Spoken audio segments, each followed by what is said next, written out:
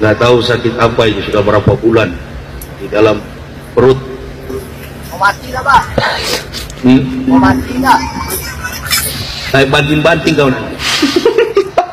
kamu coba sama saya? Hah? Saksi mati nanti kau. Hah? Saya penggal kepalamu nanti.